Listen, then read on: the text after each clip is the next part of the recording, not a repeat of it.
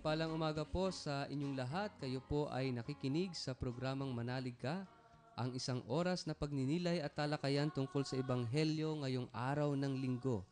Tayo po ay napapakinggan ngayon sa radyo natin Gimba 105.3 FM at radyo natin San Jose 103.3 FM. Tayo rin po ay live na napapanood via live streaming sa www.dioceseofsanjosene.com at sa www.rngonline.org at syempre sa Facebook account ng ating programa ang www.facebook.com slash manaligka 2006.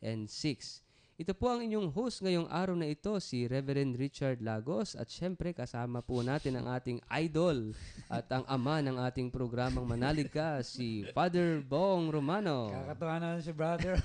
Magandang umaga po. Si Father Bong Romano po. At uh, nagpapasalamat tayo at may kasama pa rin tayong seminarista at isang laiko ministro. Yung una po nating magiging kasama sa ating kwentuhan ngayon ay si... Ako naman po si Brother Froilan Dacuan Jr. na siguro po ngayon na po ang huling kasama ko sa Hindi naman. huling mga makakasama. Para namang papano ka na kapatid Kasi niya. ah, babalik na po ako mamaya sa seminary. Mhm. Ayun, tapos na po ang aming Christmas break. So siguro po summer break na uli. Oo. so maligayang paglalakbay muli Brother Froilan sa formation. Nalulungkot yata. Nalulungkot eh. oh. At ah, kasama pa rin po natin ang isang laiko ministro. Siya na rin magpapakilala ng kanyang sarili. Brother Mar po. Ayan, isang uh, laiko ministro sa St. Joseph Cathedral sa San Jose. So bago po tayo tuluyang magpatuloy sa ating programa, tayo po muna ay mananalangin at pangungunahan po tayo ni Father Bong Romano. Sa ngalan ng Ama, ng Anak, ng Espiritu Santo. Amen. Papagmahal na Ama, maraming salamat sa pagkakatong ito muli na kami po ay nagkakasama upang patuloy na magnilay sa salita na iniwanan upang ito'y aming isabuhay. Maraming salamat po sa patuloy na pagbibigay mo ng pagkakataon din namin na magmisyon. At ngayong umaga po na ito, pagninilayan namin ng kahalagahan ng pagbibinyag. Ipinakita na nabinyagan ang iyong mahal na anak. At napakahalaga nga po na panawagan din po ito sa amin upang pahalagahan namin lalong-lalo na nga po ang panawagan nito na isabuhay namin ito sa paglilingkod at sa pagmimisyon. Tulungan mo bang bawat isa na nakikinig ngayon sa kanilang mga tahanan? Nawa Ama, makatulong ito upang lalo naming mapalalim, mapagtibay ang aming pananampalataya sa iyo. Tulungan mo po kami palagi at iniling namin ang panalangin ito sa ngalan ng iyong anak at ng Espiritu Santo magpasawalang hanggan. Sa ngalan ng Ama, ng Anak, ng Espiritu Santo. Amen. At ngayon po ay pakinggan natin ang Ebanghelyo ngayong araw ng linggo na babasahin sa atin ni Brother Froilan Dakuan.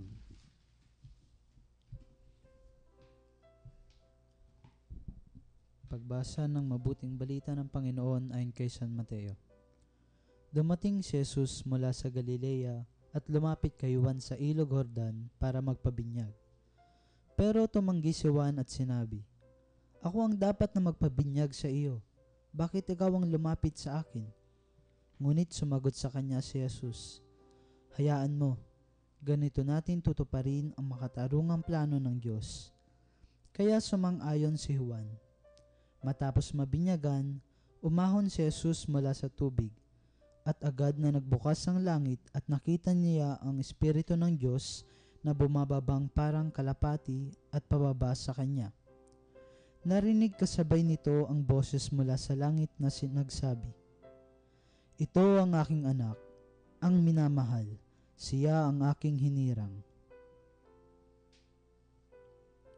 Ang mabuting balita ng ating Panginoon. Pinupuri ka namin, Panginoong Yeso Kristo. So ito po yung pagbibinyag kay Jesus. Okay. pagsisimula ng kanyang public ministry sa edad niyang 30 taon. Dito po yung ito po yung pakikipagkaisa sa atin ng ating Panginoon bilang tao. Dito rin siya pinipresent sa atin ng Diyos. Kasama niya rito yung kumbaga yung Trinity. Yung Ama, yung Espiritu Santo at yung Anak. Yung Espiritu Santo sa anyo ng isang kalapati. At yung Ama sa tinig na nagsasabing, ito ang pinakamamahal kong anak. Maraming salamat, no? So maraming salamat Father Bong sa pagdarasal kanina Mm. at ah, maraming salamat Brother Froilan sa pagbasa ng gospel at kay Kuya Mar na nagbigay sa atin ng ah, nagretell, no, nagkwento ng ating ah, gospel ngayong araw na ito.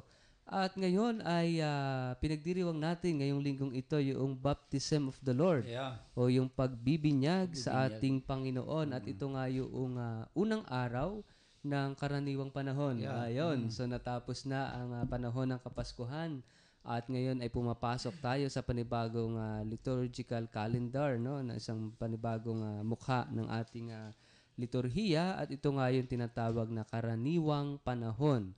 Bagaman karaniwang panahon ay kulay puti ang suot ng pari ngayong linggong ito dahil ito nga ay ah, kapistahan ng pagbibinyag sa ating Panginoon. Pero bukas, araw ng lunes, ay babalik na tayo sa kulay Yeah, berde. na, no? Oo, luntian. No, ito ay ah, hudyat na pumapasok na nga po tayo sa karaniwang panahon, unang linggo ng karaniwang panahon. Ano po? Namimiss yung kulay green na daw. Eh. Oo, ang tagal-tagal nung kulay puti. Sa totoo lang, alam mo, Father Bong, Mm. ah, nag-iisa kasi yung istola kong puti. Imaginein mo, mula nung ako'y ordinahan na diakono, eh hindi pa yata nalaban yun.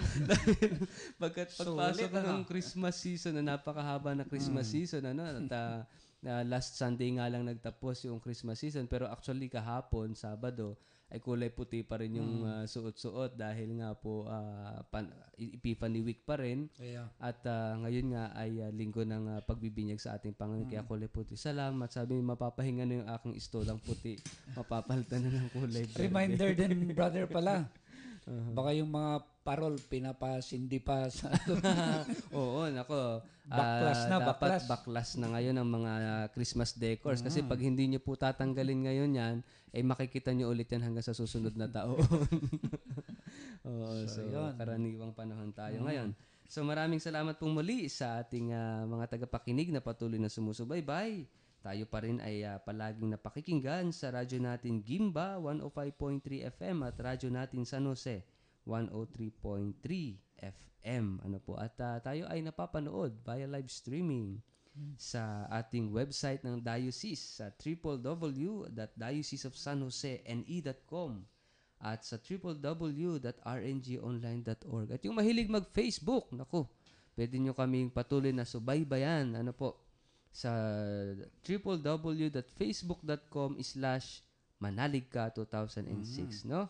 So kanina napakinggan natin yung pagba pag ah, anong tawag ba diyan retelling pagkukwentong muli ng ah, ebanghelyo natin ngayong araw nito na binigay sa atin ni Kuya Mar. Ano po? So baka may gusto pang idagdag si Brother Froilan o mamaya na lang ano so, oo kasi nalulungkot siya kasi babalik na siya ng seminaryo ngayong araw na to mm Tapos ng vacation, no? eh sabi ko nga father kay brother Froilan, mag-extend ulit siya, no? Kasi malulungkot din kami, baka pwedeng dito na siya forever sa parokya ng Sagimba. Oh, pero hindi kailangan niyang umalis at ah, ipagpatuloy ang kanyang formation sa seminaryo. Ano po? So wag po kayong aalis at ah, mamaya sa ating pagbabalik ay ah, bibigyan natin ng lalim, no? Pagninilay itong ating ah, ebanghelyong binasang yung araw na ito. Ngayon ay ano ba ang petsa natin ngayon, Father? Ngayon ay ikalabing ah, Dalawa. dalawa ng Enero. Ano ho? At ngayon nga ay pinagdiriwang natin ang kapistahan ng pagbibinyag sa ating Panginoon. Huwag po kayong alis at sa ilang saglit lamang ay magbabalik din kaagad ang ating programang Manalig Manalig ka. ka.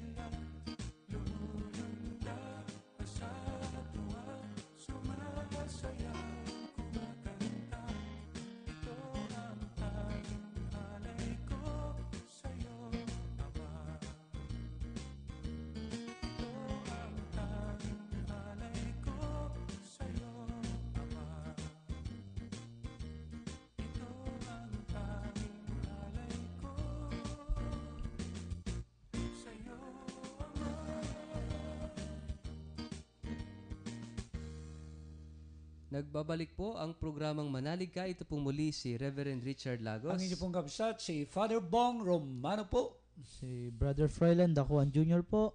Brother Mar po. Ayun, at ngayon nga po ay pinagdiriwang natin ang kapistahan ng pagbibinyag sa ating Panginoon.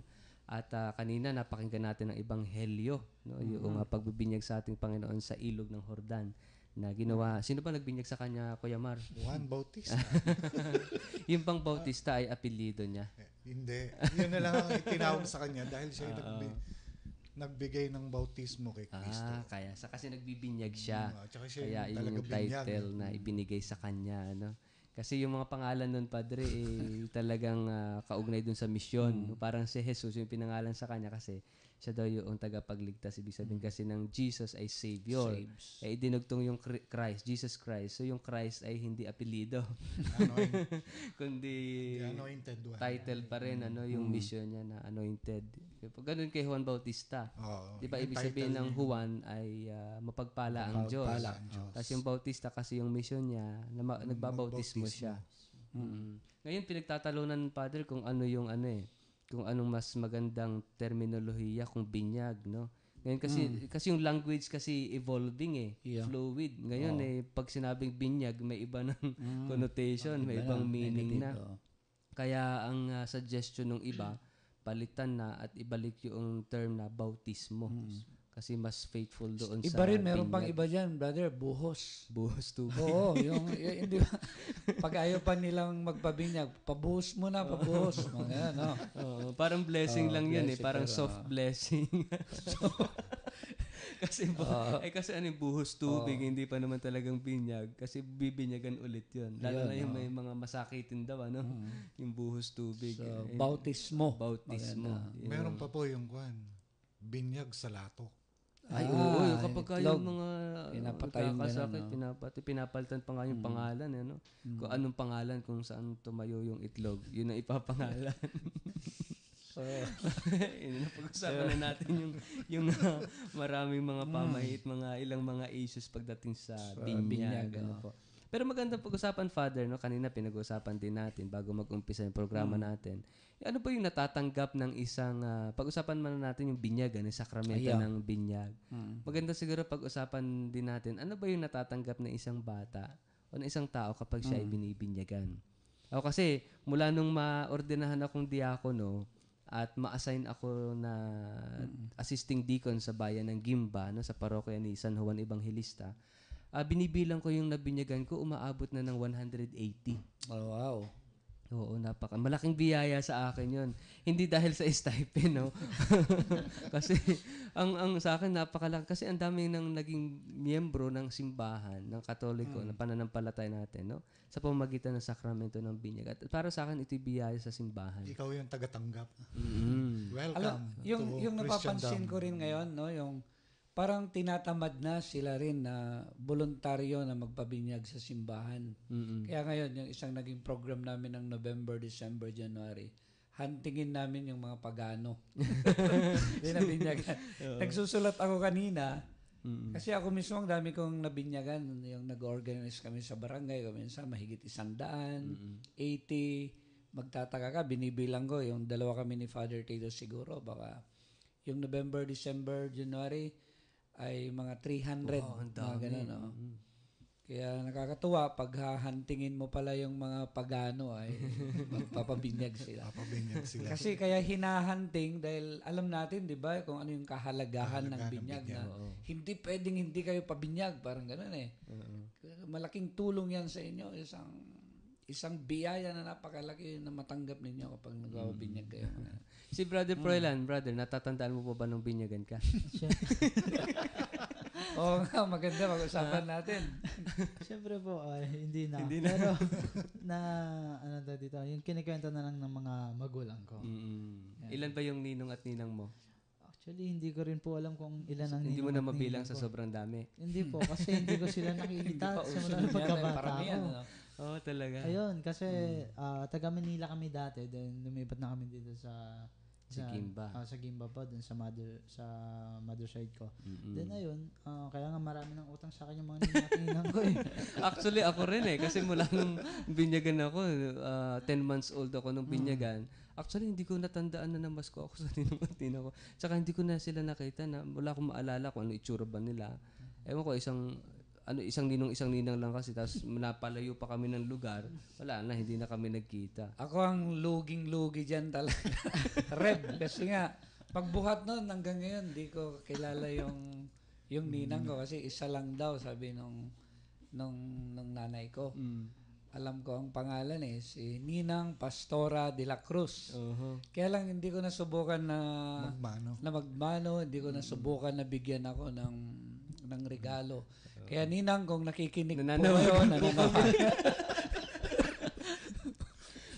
Kuya Mar, ikaw ba? malaki na po yung inyong inaanak at marami na po kayong utang Ako, pari na po ako. so, maraming utang yung ninang ko. Uh, si Kuya Yung Mar ninong ko po ay best friend ng tatay ko. Nakasamahan niya sa trabaho. Mm. Noong kwan, na destino ng Masbate, nagkahiwalay sila ng tatay ko ng Dumalami na rin destinasyon. utang Eh, Actually, hindi naman siguro. Ako na may utang sa kanya ngayon. hindi na ako nakakapagmano. Daan-daanan ko na lang yung lugar din. eh. Oo. Yun. Oo, so nakakatuwa, ano? Ako talagang ah, ganda pa naman ng simbahan na pinagbinyagan sa akin, yung Bamboo Organ Church sa Las Piñas eh. Kayo ba, Pat, saan kayo binyagan? Sa Gimba. Sa Gimba. Mm. Mm, Sa Parish tama, Church doon. St. John. Sa ikaw, brother, Froilan? Hindi mo na alam. Hala ka! Nabin- nabinyagan ka ba talaga? Lagot to. Walang patunay. May baptismal record ka naman. Opo, ah, naalala ko, So tingnan mo, brother, ha, kung saan ka bininyagan. March 26 yan. Oo, pero saan hindi mo alam. Nanonood ako eh. Sigurado kayo sa Catholic to. Siguraduhin mo, ha? Oo. Si Kuya Mar, saan ka Ah, nabinyagan? dito, sa St. Joseph. Sa Cathedral. Ah, Hindi pa po katedral nun ah. Oh, St. Parish Joseph pa lang Parish. siya. oo. Oh, pero alam mo, Father, mula nung maging aware ako doon sa kahalagahan ng binyag. Actually, nasa seminary na Eh, ako sino noon. po eh. ang paring Ah, nagbinyag sa inyo? ako kilala ko Father Anton An, Tan, Tantoco. Antonio Tan, Tantoco. Ano siya, CICM. Kaya alam ko pa yun eh. Buhay pa siya ngayon. Oo. Ako Father, mula nung um, malaman ko yung kahalagahan ng binyag, nasa seminaryo na ako, ginagawa ko every ah, anniversary ng baptism ko, nagse-celebrate ako personally. Mm. Alam mo, ah, tinitrik ko nga, sarili ko. o kaya nagsisimba talaga tapos nag-offer ako ng prayer inten- mas Gayahin intention. natin. uh, celebration. Oo. Siyempre, wa- regaluhan ko yung sarili ko. Although, Magkapangalan ka, nalista ka dun sa kon eh. Roaster Oo, ng, ng langit, di ba? Isa-celebrate ko nga yung unang celebration ko, regaluhan mga ako. oh, basta may invitation pa. Ganda yun, ano? Baka pwede nating i-offer sa mga nakikinig, no? Kasi nga, napakahalaga yun. Biro mo yung magiging kristyano ka, yung naging kristyano ka dahil sa binyag mo, ano? Mm. And then, wag nyo din pong kalimutan na ipagdasal yung paring Oo, nagbinyag. nagbinyag. Ako, pinagdadasal ko yan eh. Buhay pa siya. Oo, buhay pa siya. Ah, wow. Ah, Oo, alamin at, at kakilala siya nung kamag-anak mo yatang madre sa Gimba. Ah, Di ba yung si Sister ano ba yun? Letty? Sa, oo, Sister Kindara? Letty. Oo. Kilala niya yung nagbinyag sa akin at nag-meet pa nga sila kaya tuwan-tuwa Ikaw, ako. Kuya Mar, hindi na buhay yung Ah, nagbinyag. hindi na po. Mga MSC, ano? Ako, Ako, MSC. MSC. Tama. Bibisitahin ka niya. Hmm, Sige, babisa tayo. Papasalamat ako. Ang saya pala pag pinag-usapan yung binyag, no? Oo. Actually, may tagahanga si Brother Froilan Father. Oo. Okay, mas mas mas ah, pag nakikinig daw siya ng programa natin, okay daw makinig. Kaysa, kasi seryoso daw siya. Tayo raw tatlo mga ano. ano tawa anong ng term? Ano yung term niya? mga tatlong yung tatlong itlog daw magugulo. pag tayo na na Reverend Mitch, tawa ng tawa. Gusto sana naman pa eh, pasayahin eh. Tatanungin ko sana kung ano kayong mga handa nung bininyagan tayo. o sige, siguro tuloy diretso na tayo dun sa natatanggap ng isang ah, taong binibinyagan. Ano? At sabi ng katisismo, Father, ang ah, isang binibinyagan, at ito rin, pinapaliwanag ko every time na nagbibinyag ako, tinatanong ko yung mga magulang at sabi ko sa kanila lagi, handa ba kayo na magmula ngayong araw na ito, yung mga anak ninyo, hindi na ninyo magiging mga anak Yun. yun lagi ang tin- sinasabi ko sa kanila. Kaya yung minsan, yung tinitingnan ko yung mga mukha ng mga magulang para bang nasasyak sila, parang napapuzzle sila. Bakit kaya? Mm-mm. Kasi sabi ko sa kanila, kasi magmula ngayong araw na to, yung anak nyo na yan ay magiging anak na ng Diyos. Oo. At ibig sabihin, kayong mga magulang, kayo yung mga katiwala, Katiwala, na lamang ng inyong mga... Kaya sabi ko sa kanila, ah, kaya ibig sabihin ng katiwala, mga magulang, aalagaan nyo yan. Itataguyod nyo yan. Iingatan nyo yan. Hindi nyo aabusuhin. Para bang nag-aalaga ka ng isang halaman, kinakailangan mo i-cultivate, diligan, lagyan ng pataba hanggang ito'y ah, mam- mamulaklak, mamunga, no? At saka sabi ko sa kanila, huwag nyo ituturing na ano yan, mga problema, lalo na kapag ah, kumukulit na, lalo kapag gumagastos na, no? Pagpapaaral na lumalaki ng ganyan. Kundi lagi nyo ituturing na biyaya na galing sa Diyos. Pero mo yung dignidad na yun, ano, na kapag nabinyagan ka, ay yung, ka- yung dignidad na anak ka ng Diyos, no? Mhm. Kaya nga nakakalungkot ko minsan yung mga nanay, yung dinidelay nila itong dignidad na ito. At ang dami ko ring na-encounter, Reb, na kwan. Talagang yung mga nagpapabinyag na kung minsan matatanda na. Mm. Ang dami kong bininyagan na ang tatanda na, mga binata na. Kung minsan niloloko ko nga eh. Dapat sa dam ka na binyagan eh, sa drum eh. So, Oo. Asan ba yung mga magulang nyo? Pagagalitan ko. Siguro, sabi kong ganyan, na ang laro ka na ng laro ng basketball, nagsasagibo ka na, alam niyo yung sagibo. Bahala na kayo. Kung saan, saan na kayo pumupunta, tapos hindi pa pala kayo binyagan, sabi ko. So, yun ang nakakalungkot ko minsan, yung dangal ng pagiging anak ng Diyos. Dinidelay natin yung ganun. Kaya nga nakakatuwa tayo, di ba, yung nabinyagan ni mga tatlong buwan. Oo. Ikaw yata, Sampo. Sampung buwan sampo, ako nun. si walang, wala ring isang taon na. Wala yung isang buwan. Oh, agad Wala isang buwan, no? bilis. Oo. So, ganun, ano? Kailan si Brother Perla, Eh, wag mo nang eh, tanongin. eh. Hindi alam. Kung after a year ba, after two years. Base po sa picture, parang mga five months. Abutin yung Mm. picture. Oo, kasi kan, um, last actually last year ko lang siya nakita yung baptismal certificate ko na. Mm. Bakit ah, kasi pag nag-usap yung mga klase ko, sineselebrate daw nila yung mga Oh, tignan mo, ha? They also celebrate. They also baptism Celebrate nila. baptism nila, Tapos no? tinignan ko ah, March 26 tapos ang birthday ko October 26. So Mm. ibig sabihin doon sa picture hindi, wala pa naman akong isang taon siguro noon kasi hindi pa naman ako nakapaglakad doon. Yun, so parang five Mga months. five months. Five months. So, Most yun. probably, ganun nga. Mm. After uh, five months na binyagan ka. Mm. So yung sinasabi natin, Father, no, yung dignity of being a child of God, no, pagiging anak ng Diyos. Mm. Ah, siguro mag- kung ating nga iisipin, ano, na ako'y anak ng Diyos, hindi lang ako na, anak ng nanay at tatay ko. So, talagang iniangat yung dignidad natin bilang tao na pag ikaw ay anak ng Diyos, affected yung ano, pag nandun sa kamalayan natin, yung pagiging anak ng Diyos, siguro maapektuhan, hindi na siguro, sigurado maapektuhan yung ah, way of life natin, the way we think, no, paano tayo mag-isip, paano tayo kumilos, no, paano tayo makipag-ugnayan na aware ka na anak tayo ng Diyos, anak ako ng Diyos, no? So maganda ito na magandang ah, sana lagi tayong aware doon Aware, tayo mga anak ng Diyos. At ganun din yung, alam mo nga, yung, siyempre yung mga magulang, nauna silang nabinyagan, di ba? Mm. At ito nga, yung sinasabi mo, Rev, na sila yung mga katiwala Mm-mm. na hindi na sila yung yung unang kwan, di ba? Yung yung parang magulang, Mm. kundi anak na sila ng Diyos, yung yung talagang kinikilala natin na father natin na yung yung yung ama na, na, na nasa langit. Kaya lang yung napakahalaga siguro yung pagiging katiwala ng mga parents. Oh. Yung maging maging mabuting katiwala ng pananampalataya. Yes. Kasi nakakalimutan nila yung pagiging katiwala. Minsan nga yung dinidelay nila yung, yung baptism, nakakalimutan nila yun. Nakala nila, aalagaan niyang ng pang physical ng bata, pang edukasyon. So nakakalimutan yung pagiging mabuting katiwala, yung pang spiritual, Spiritual. Mm, totoo. na obligasyon nila sa kanilang mga anak. Mga ganun. So ganun ngayon nangyayari, no, Father, yung ah, nagiging katiwala na lamang ang mga magulang nitong mga batang ito. Na kaya na kailangan talagang alagaan mabuti itong mga bata. At ayun nga, nag, bisa, aside from nagiging katiwala na lang sila, itong mga batang binibinyagan, nagiging tagapagmana ng langit. Yun. Nako, napagandang Isang mamanahin anak na mo yun. Diyos. ano? oo. Sabi ko nga sa kanila, sa mga magulang, eh, kayo, okay lang kung wala kayong maipamana sa anak niyo na house and lot. Kung wala kayong maipamana ng mga mamahaling sasakyan, no? o malawak na ari-arian. Pero tinan nyo, ah, ang ipinamamana ng Diyos sa batang binibinyagan natin, hindi lang ba hou- house and lot, hindi lang ah, ah, sasakyan, kundi langit. My God, ah, buhay na walang hanggan ang usapin dito. No, hindi lang sa isang bagay na lumilipas ang pinamamana ng Diyos, kundi buhay na walang hanggan. Ay na po siguro yung pinaka magandang regalo na matatanggap ng isang Mm. tao. Tama ka dyan, brother.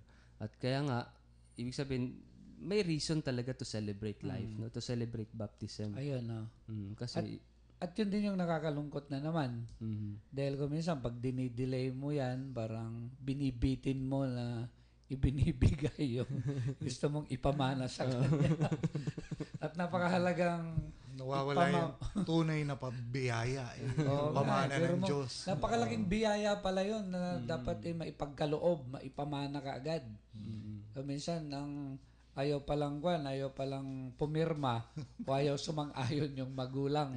Yan ang biyayang hindi matatang makukuha sa ng ibang tao eh. Tama. So, napaganda pala, no? Kaya kung, kung pagninilayan mo itong, itong binyag ay isang kayamanan na napakahalaga Mhm, totoo. na yung nga, yung kahit walang house in lot, pero May langit ka naman. kayo may langit. oh. Oo. At ito yung dapat talagang ipagpasalamat, Pads, no? Talagang we are, ah, sabi nga, dual citizens na tayo pag bininyagan. No? Ah, hindi ka lang isang mamamayan ng Nueva Ecija, hindi mamamayan ng langit. kundi mamamayan din ng langit. No? Mm. Biro mo ano, lahat pala tayo ano yung materially poor ka man. Mm, pero, Pero lahat talaga spiritually na, rich. Mayaman ka tayo lahat. Oo. Wala palang talagang kung anak ka ng Diyos, walang mahirap. Mm-mm. Mayayaman tayong lahat. Mm. Big time. At at yung langit, Father, hindi yung may lugar yung mayayaman di, at ah, mahihirap. Hindi, kundi pantay-pantay na. Pantay-pantay. Parehong langit eh. Di ba? Parehong langit yung ah, pupuntahan Pupuntahan. natin. Hindi naman yung iba yung langit ni Brother Froilan at iba yung langit na pupuntahan ko. Sa lang ano. Nag-iisa yung langit. Eh paano kung yung kaaway mo yung makakasama mo pala doon? hindi na kayo magkaaway. Hindi, Gusto mo pa bang mapunta ng langit? baka, hindi, baka hindi langit yung mapula. yung isa nga, brother, sabi sa akin, ay, kung makakasama ko siya doon ba, di, ka, di na ako pumunta doon. Ay, nako. O, sige. Ah, mamaya po sa pagbabalik natin, dahil ah, kailangan mag- muna nating mag-break, mas bibigyan pa rin po ng lalim pagpatuloy natin ang ating kwentuhan tungkol po dito sa kahalagahan ng sakramento ng binyag. Dahil uh, ipinagdiriwang nga po natin ngayon ang linggo, ang kapistahan ng pagbibinyag sa ating Panginoon. Wag po kayong aalis at ah, sa ilang saglit magbabalik rin po kaagad ang ating programang Manalig ka.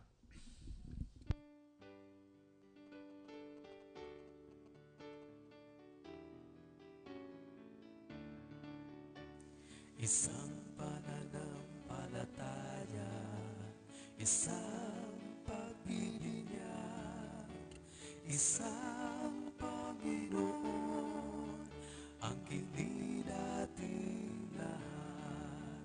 Habilin ni Jesus, noong siya'y lumisan, kayo ay magkatipon sa pagmamahalan. Isang pananampalataya, isang pagbibinyag, isang Panginoon, ang kini nating lahat. Ama, pakinggan mo ang aming panalangin dahil sa'y napag-ibig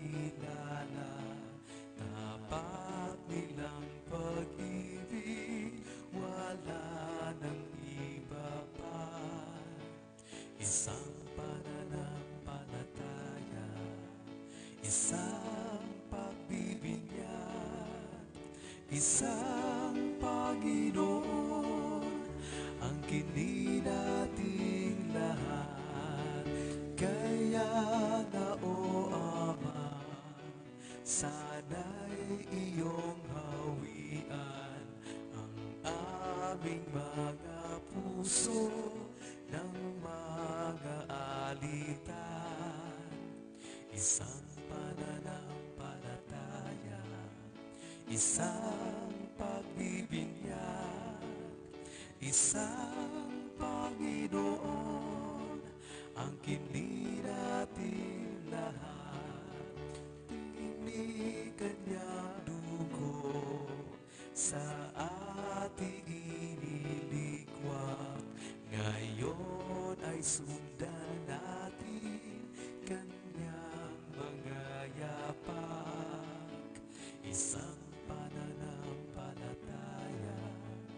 isang pagbibinyag, isang Panginoon,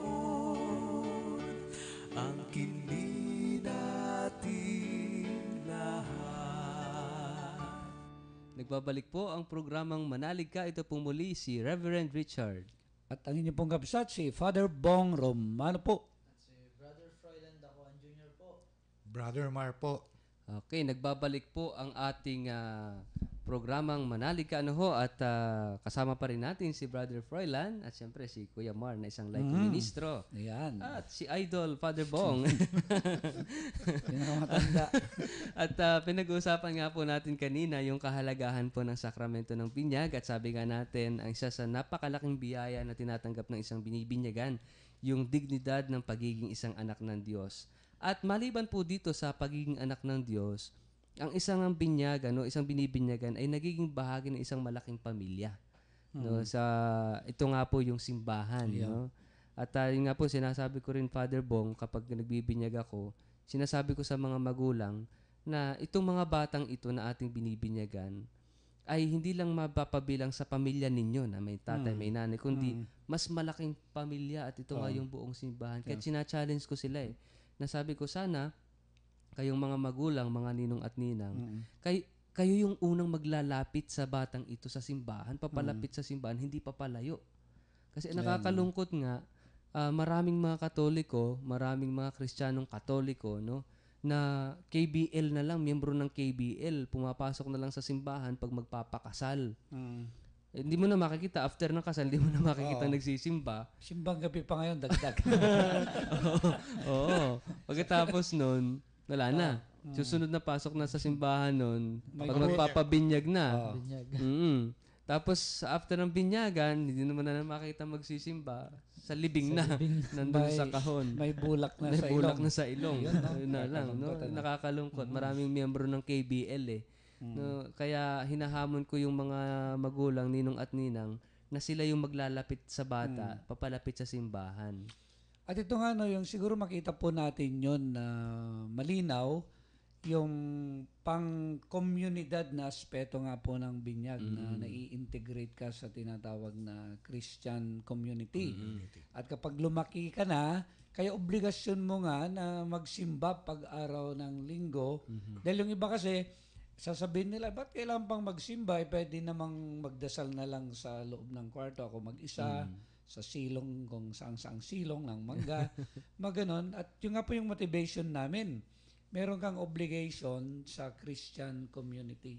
Dahil pag, pag ah, pangsambayan ng pagsamba Mm-mm. na napakahalaga na pinapakita mo. At ito nga po, panawagan nga sa atin yon kapag tayo ay binyagan na maki isa ka sa tinatawag na sambayanan ng, Yes, ng opo. Diyos sa ating Kasi ang parokya. ang plano namang pagliligtas ng Diyos, sinasabi nga sa atin ng pananampalataya natin na it's a communal. No, communal. Walang iniligtas ang Diyos na individual salvation, kundi communal salvation. No, kaya isang komunidad tayong tinutubos ng Diyos ni Jesus. no? Ayun, oo. Hindi isang individual lang. Kaya malinaw na si Jesus mismo ang nagtatag ng ating simbahan. Ano? Para tayo ay ah, isang sambayanan na makarating sa langit. Hindi yung kami-kami lang. Kayo-kayo lang. Ano ho. So, sumunod na tinatanggap, Father, ng sakramento, sa sakramento ng binyag, ano ba yun, brother, palagay mo? Um, ito ay siguro tinatanggal ang original na kasalanan Oh, natin na yun. minana natin sa ating mga magulang, mga Oo. unang magulang Sino na ba sina yun? Sino Ana- ba yun? Adan at Eva. Ay, Ayan. yun ito yung tinatawag na original sin. Ano, ito yung kasalanang mana. Mana. Oo, kasi lahat daw, Father, ng ah, isinilang na hindi pa nabibinyagan, nagtataglay nito. Maliban kay Inang Maria. Kaya maliban Oo, kay ng yan. Maria, may exemption, ano. Opo. Oh, kaya noong ah, ah, ipanganak tayo, pare-pareho daw tayo ng apelido at yung pa- apelido natin ay Sin. si Cardinal dati. Oo, lahat mm. tayo may kasalanang minana. At ito yung inaalis sa sakramento ng binyag. Pero po, pagka ito na, pag natanggal na ang original sin natin sa sakramento ng binyag, hindi ibig sabihin nito hindi na tayo magkakasalang muli. Kasi meron pa rin tayo na tendency na magkasala in yung actual sin. Oo, di ba yung tawag dun sa tendency na yun, brother, ay concupiscence, di ba? Ito yung term na term sa theology, sa sa, sa katisismo. Na ibig sabihin, hindi ibig sabihin na tinanggal na yung original sin, Kuya Mar.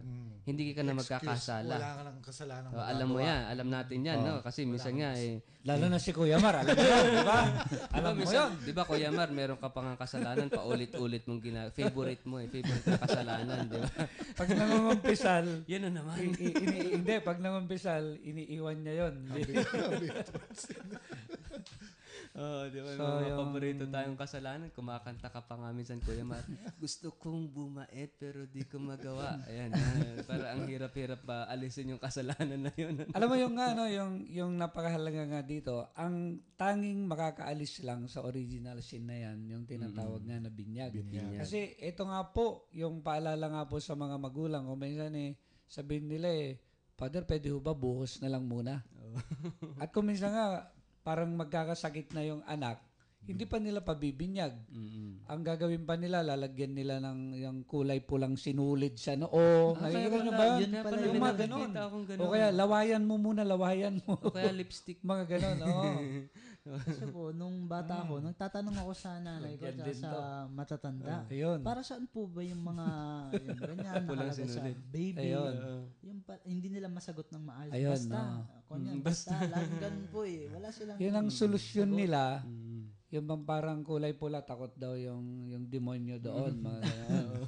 eh, ang pang-alis nung kasalanan talaga, pang-taboy, binyag. lalo na sa mga masamang espiritu, ay yung, yung binyag. Mm. O so mag, mahalaga to na magandang katisismo to sa ating mga kapatid na mananampalataya no na na yung ah, mahalaga itong sakramento ng binyag. Parang ma- ma- malinis. Kaya nga Ayun, yung simbolismo yan, ng tubig, Father, 'di ba? oo. Bakit ah, binubuhusan ng tubig? Malinis. Ito yung simbolismo ng paglilinis sa kasalanan, no? At ah, maganda, maganda itong ah, ah, katisismo nga na makita natin kahalagahan ng binyag sa ating buhay. Kaya sana, wag i-delay. Minsan kasi, Father, na- dinidelay yung binyag kasi nakasalalay sa handa. Ayun. Hindi pa kasi po, maliit pa po kasi yung baboy. Six months pa Six yun. months. At saka hindi lang siguro yung tubig ay paglilinis, kung hindi ito yung panibagong buhay ng bata. yes. So, kasi dal- kasama dalawang, dun sa ano, kingdom of God. Mm, Dalawa kasing kahulugan ng tubig, Father eh. Kasi 'di ba, halimbawa, ang tubig ay nagbibigay buhay kasi pag walang tubig, mamamatay tayo. matay tayo. So, it symbolizes life, no? It's new life sa atin. Kaya nga ipinagdiriwang natin yung binyag para ito yung isang buhay, Mm. panibagong buhay, yung buhay na walang hanggan. Pero merong another aspect yung tubig. No, parang yung baha sa Yul- ng Yolanda, dala ng Yolanda, maraming namatay sa tubig, no? Also symbolizes death. Na ibig sabihin sa binyag meron ding namamatay, no? Pina, namamatay tayo sa ating sarili. Namamatay tayo sa ating mga kasalanan, no? Kaya panibagong Oo, buhay. pani- kaya panibagong buhay. Kaya dal- dual meaning tong tubig na ito eh. It's life and also death. No? Kaya yun. So, yung nga sabi natin kanina, at sabi rin ni Brother Froilan Padre, na hindi ibig sabihin na tinanggal na yung original sin, hindi na magkakasala. Nandun pa rin yung tendency na magkasala, yung tinatawag na actual sin. Kaya naman, yung pang-apat na tinatanggap sa sakramento ng binyag, yung tinatawag na sanctifying, Sanctifying grace, grace. no? Sang, ito yung grasya, biyaya na nagpapabanal. Pabanal. Kaya tayo, kapag nagkasala, meron tayong, meron deep inside, no? Sa pagkatao natin, meron tayong lakas na magbalik loob sa Diyos, na magsisi, magbagong buhay.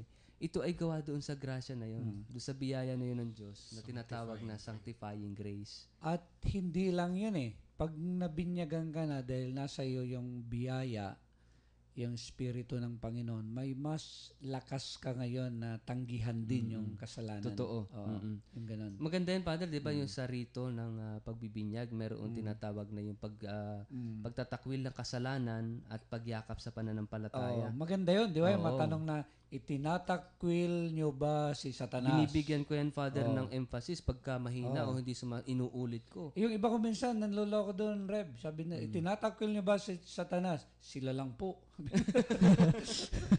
Oo, yung iba naman na sasagot ng, ah, opo, itinatak, pero tinan mo yung mukha nila malungkot. Oh, malungkot. Para bang ayaw na ayaw nilang itakwil si Satanas, ano? Parang ay sayang, nakakapanghinayang itakwil, hindi ko na magagawa yung gusto ko.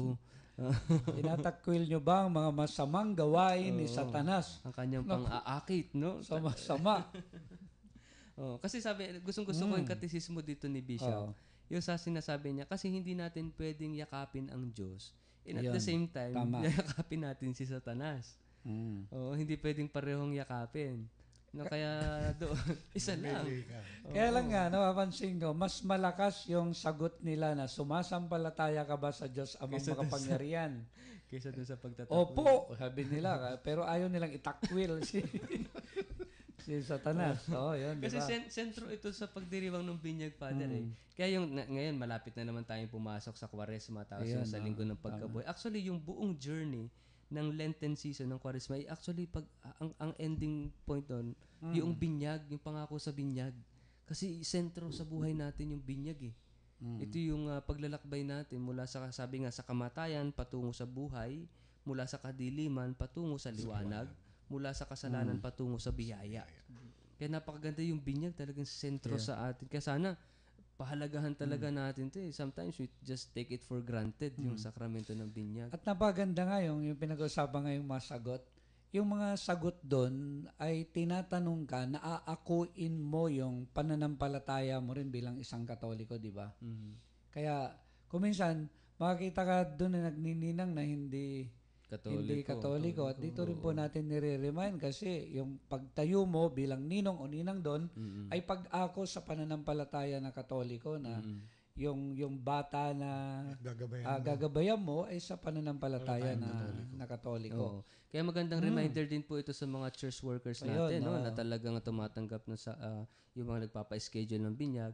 At ganoon din sa lahat ng mga katoliko na kapag kukuha kayo ng mga ninong at ninang, make it sure na katoliko at nabinyagan talaga itong mga ito. Katolikong Pinoy. Mm, yes, katolikong Pinoy. Wow. Hindi lang naman po yung pagninong at ninang yung tungkol sa yung magbibigay sa tuwing Pasko. Sa pagpasko, tsaka Opo, birthday. Doon mo lang makikita. Kundi, yun dapat yung, gagabay sa isang bata na Ayun, binyagang sa faith. katoliko. Oo. tungkol sa kanyang pananampalataya. Mm, sinasabi ko rin yan, Father, kasi di ba isa sa mga simbolismo ng binyag yung kandila. Oo. Kasi yung right. yung kandila nakalagay doon sa rito, ito yung liwanag ni Kristo na tinanggap ng bagong binyag. Ang hamon doon, sana panatilihin ng mga magulang ninong at ninang na nag-aalab yung ilaw na yon hanggang sa muling pagbabalik ni Kristo.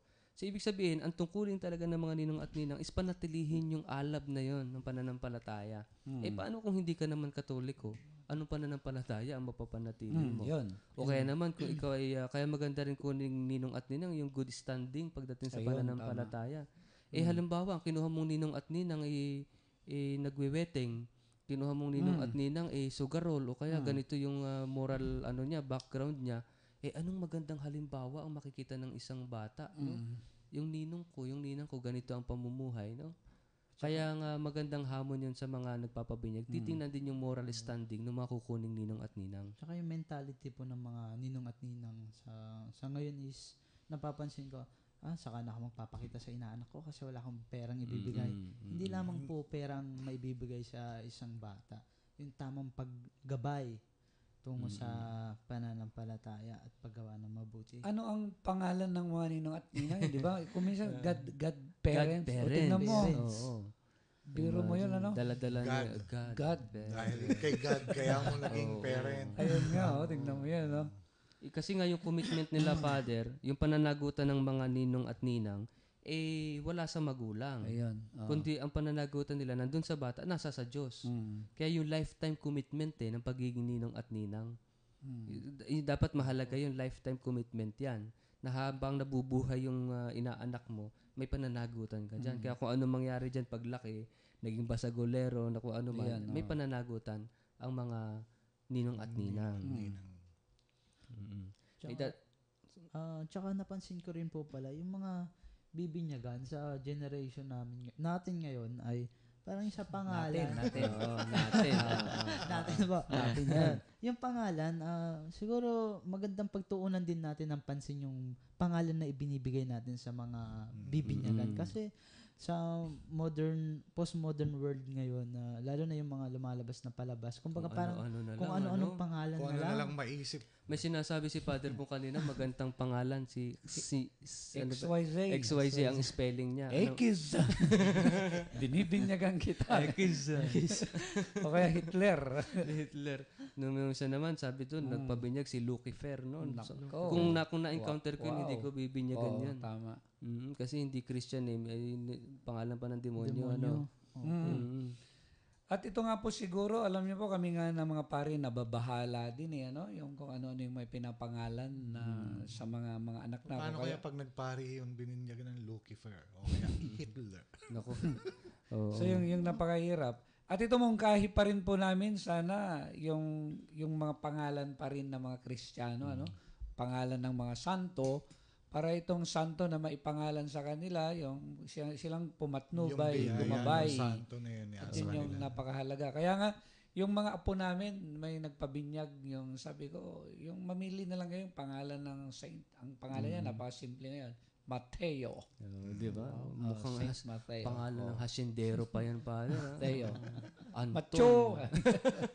Mateo. No? Oo. Sa reminder po, sana nga po, pati sa pagpapangalan ay mapagbuti natin. Mm-mm. Talagang kristyano po yung yung pangalan. Yung nanay ko nga noon eh, ah, niloloko, binibiro na, ay sabi ko, hindi ka tumingin sa kalendaryong katoliko nung, nung nabinyagan ako. Inilagay mo kay Honorio Lopez. Oo, oo. ay kung sa katolikong kalendaryo sana, ang pangalan ko ay Mario. Mm-mm. Dahil yung yung kapanganakan ni Inang Maria ko, di ba, September 8. no, ayan. Mm-mm. Nestor. Nestor. oo. Isang obispo na tumalikod sa pagiging katoliko yun eh. Heretic. oh, Si Nestorius. Nestorius. Oh.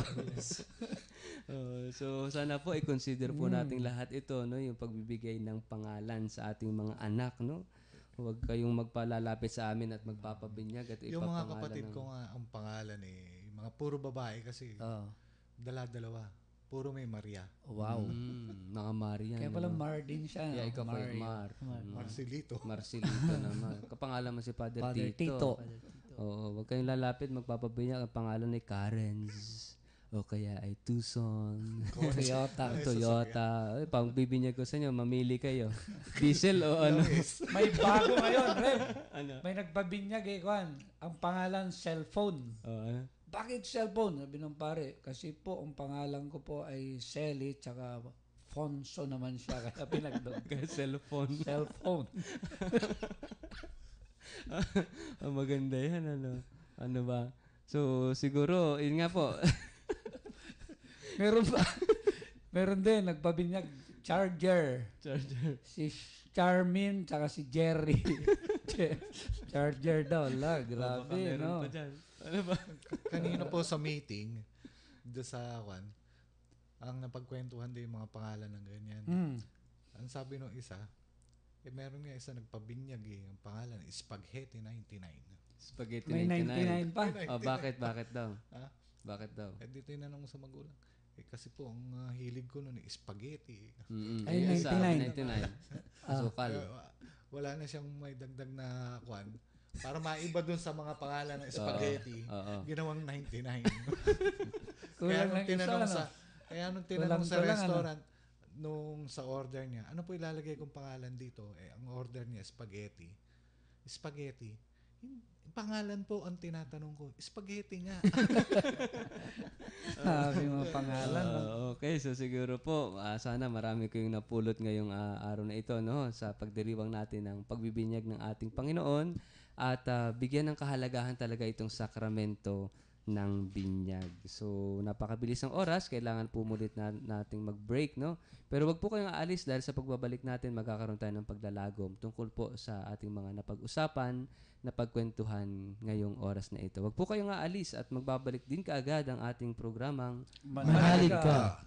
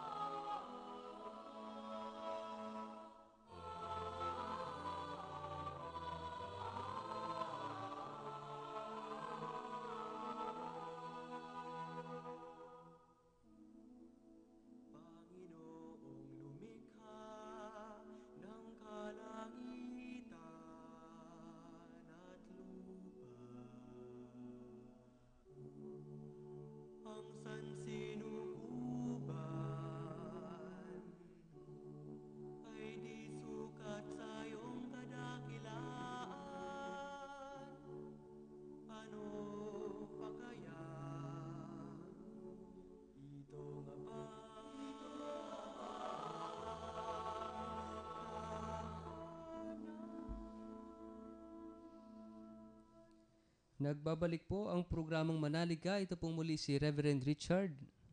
At si Father Bong Romano po, ang paring Ilocano. Ito po si Brother Froilan Dacuan Jr. Brother Mar, At tayo po ay ah, dumarako na sa pagtatapos ng ating programa ngayong araw ng linggong ito. At ah, darako tayo sa paglalagom tungkol sa ating mga napag-usapan tungkol sa Ebanghelyo ngayong araw na ito. At tayo po ay tutulungan ni Father Bong sa paglalagom. Sa mga kapatid na pag-usapan po natin at palagi namin po kayong pinapaalalahanan na napakahalaga, lubhang napakahalaga po ang sakramento ng binyag, yung dignidad nga po na natatanggap natin dito na tayo ay nagiging nagiging anak ng ng Diyos. At ito nga po yung napakahalaga na pagyamanin natin na ituring natin na ito yung tinatawag na isang isang kayamanan. At hindi lang po yon sa pamamagitan lamang ng tinatawag na sakramento ng binyag na natatanggal po yung, yung ating kasalanang mana. At dito rin po, yung sa binyag na ito, natatanggap natin yung biyayang pangtulong na tinatawag na sanctifying grace upang maging matatag tayo na isabuhay yung ating pananampalataya. At ganoon din, ah, hinahamon din po tayo para gawin yung tinatawag na pagmimisyon kapag ah, nabinyagan tayo.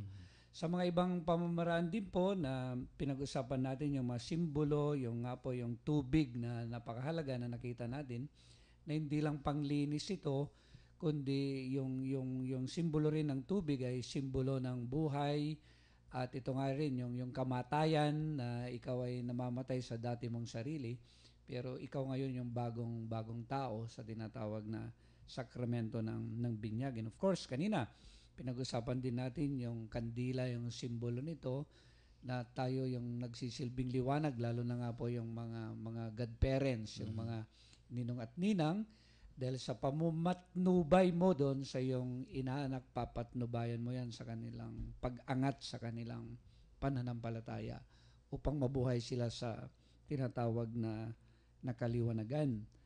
At ganoon din po, yung nga po yung napakahalaga rin na reminder namin kanina sa inyo, yung tinatawag na pagpili po ng mga pangalan.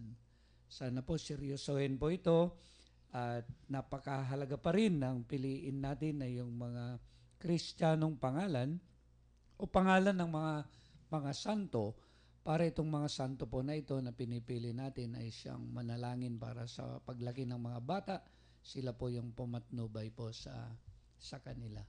Kaya minamahal na mga kapatid, so sana po ah, pahalagan natin ang sakramento ng binyag. Ayun, maraming maraming salamat Father Bong sa paglalagom. So ngayon po, darako tayo sa ating mga greetings, Oh, mga pagbati. Ah, paborito ni Brother ah, Froilan. Ayan na, pagkakataon mo na brother na bumati sa iyong mga fans, ating mga tagapakinig. Paalam na rin. paalam ka na rin, brother. Ayan po, ah, tapos na po ang Christmas break Christmas break namin sa seminaryo at mamaya po ako ay luluwas na upang bumalik sa seminaryo upang ipagpatuloy ko ang aking formation at lalo pang lumago ah, sa aking sarili at la- para mayroon pa akong maraming maibahagi sa inyo. Ayan, ma- ah, binabati ko po lahat ng nakikinig sa sa ating programa at yung mga sakristan po sa Gimba, binabati ko po. At si Brother Ralph po, ayan. Ngayon po, hindi Kasalukuyang natin nasa Davao. Ayan, nasa Davao Oo. siya. Oo. At ayun, ah, binabati ko rin po yung mga yung mga, naka- yung mga kaibigan ko at lalo na lang sa mga kabataan na ayun, palagi ko pong sinasabi, yung mga kabataan ngayon ay madalang na magsimba na sabi ko, ah, simba-simba rin at maraming time. Ayan. Mm, ayun. Baka maalala lang natin pagka wala na tayong time. di ba? Ayun po. At saka yung tinuluyan ko dito sa San Jose nung ako inaasign yung family na kumupkup sa akin. At syempre yung family ko rin po sa Gimba. Okay, si Kuya Mar. binabati ko po yung dapat na nakaupo rito, kapalit ko, si Dr. Tomas at saka si Tata Piring. Bakit niyo ako ininja? Pero may nagsabi po, andito si Tata Piring kanina, 9.30. Wala siguro nakitang Marcelito. Kaya Mm, nawala. Ah, sige po. yeah, ah, ah. Si Father Bong po. Ay ako po ay binabati ko yung mga taga Muñoz. Ah, kasalukuyan po ay nagkakaroon kami ngayon ng novena dahil naghanda kami sa kapistahan ng aming patron, si San Sebastian Martir, sa January 20. At ganoon din po yung binabati yung mga dinalaw patron ng aming patron, yung mga barangay, yung mga cluster barangay.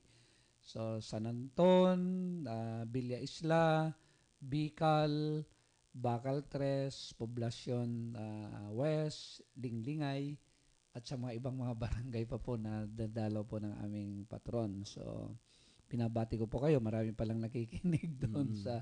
And of course, yung mga nakikinig din po dito sa San Jose City. Ang daming daming nagte-text, yung alam yung text ko. Tapos pag may namimit ako, tuwang-tuwa sila, ako daw pala yung paring Ilocano. Hindi naman daw pala ako maitim, sabi nila. so, yun. And of course, yung pong mga taga-palengke, yung mga kababayan namin dyan sa Gimba, yung mga kamag-anak, mga, mga lahat ng kamag-anak ko, brother. Nakikinig. So, maraming salamat po. Naway pagdasal din po ninyo kami palagi para may pagpatuloy namin ang mission na ito. Mm, At ah, alam niyo po, ah, labis yung pasasalamat ni San Juan Evangelista at naging kababayan niya si Father Bong. Opo, binabati ko rin at pinasasalamatan yung mga ah, lay ministers po natin dyan sa parokya ni San Juan Evangelista sa Gimba. Na talagang nakikinig po sila. At marami tayong masugid na tagapakinig dyan sa palengke. Balita ko eh, tama. number one tayo sa palengke ng Gimba. palengke, oo. Oh, ewan ko lang sa Munyos. You po. Opo, so maraming salamat sa iyong pakikinig palagi po at ah, pagpalain po kayo. So ngayon po ay tatapusin natin ang ating programa sa pamamagitan po ng panalangin. Sa ngalan ng Ama, ng Anak, ng Espiritu, Espiritu Santo. Santo. Amen. Diyos na aming Ama, mapagpala at ah, mahabagin, nagpapasalamat kami sa biyaya ng binyag na ipinagkaloob mo sa amin.